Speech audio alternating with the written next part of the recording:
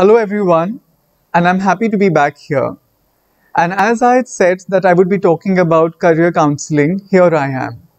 Children and young adults have been asking me that how to decide which career is good for me. So I would like to tell you that you do it in a, in a, in a series of process. Series of process means that there are four steps to it and you, you need to understand every step to finally decide and make a confident career decision.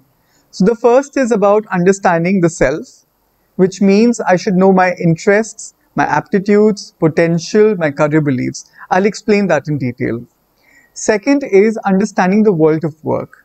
It means that I should know all about career names, career options that are available to me in generally also, not specific to certain subjects or uh, certain streams, but in general. For example, doctor, lawyer, engineer, it is there, but beyond that, being a historian, being an actuarial scientist, a geologist, and so on.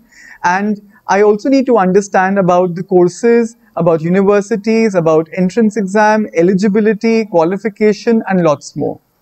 The third is about developing alternatives, which means that maybe I have a plan A, but life is uncertain and we are living in times of uncertainty. We should have a plan B and a plan C also for us. If not, because of any reason A I'm not able to do, do I have B and C as a backup? Yes. And finally, career preparation, which means all the milestones and steps I would have to cross to reach my plan A, plan B, and plan C. So I prepare a flow chart. Now, coming back to the first point, that is about understanding the self. I need to know my interests. Interests means all things that I like to do, uh, I'm enthusiastic about, something that I look forward to doing. It could be singing, it could be mathematics, it could be gardening, it could be cooking, it could be playing the instrument, anything, whatever it is that you're interested in, I should be able to figure that out. Second is my aptitude.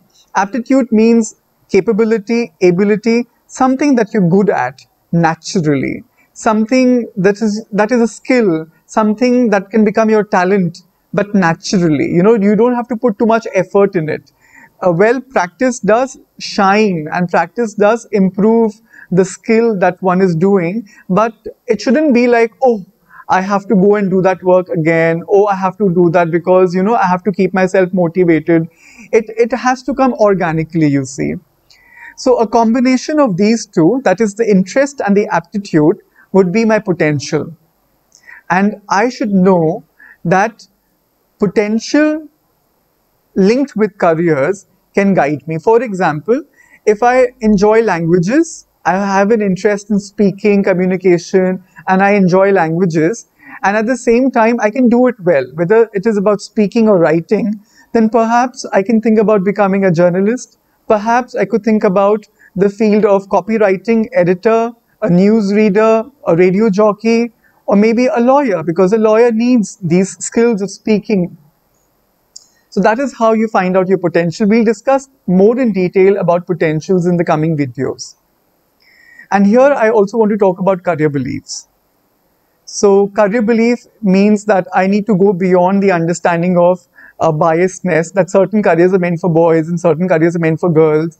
If you have arts, then you're a weak student. If you have taken science, then you are an intelligent student and so on.